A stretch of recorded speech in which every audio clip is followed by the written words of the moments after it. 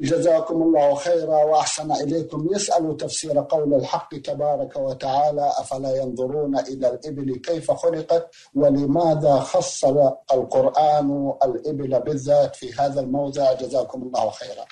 خصها لما جعل الله تعالى فيها من العبر. الإبل فيها عبر وخصائص لا تكون في غيرها من البهائم. ما فيها من القوة والتحمل والصبر ولما فيها من المنافع الكثيرة يحمل عليها ويسافر عليها ويشرب من ألبانها ويؤكل من لحومها ومن أصوافها وأوبارها وأشعارها أثاث ومتاع أثاثا ومتاعا إلى حين. ففيها عبر ولما فيها من قوة الخلقة وقوة البنية ولما فيها من جمال الصورة والشكل العجيب فيها عبر وفيها عظات. ولأن الإبل هي التي يكثر وجودها عند العرب ويخالطونها ويرونها ويستعملونها فهي أقرب شيء إليهم من مخلوقات الله سبحانه وتعالى. ولهذا قال أفلا ينظرون إلى الإبل كيف خلقت؟ لأنها أقرب شيء إليهم وفي متناولهم وإلى السماء كيف رفعت؟ وإلى الجبال كيف نصبت؟ وإلى الأرض كيف سطحت. كل هذه آيات تدل على عظمة الله سبحانه وتعالى وهي مما يشاهده الناس كل الناس يشاهدون هذا. نعم.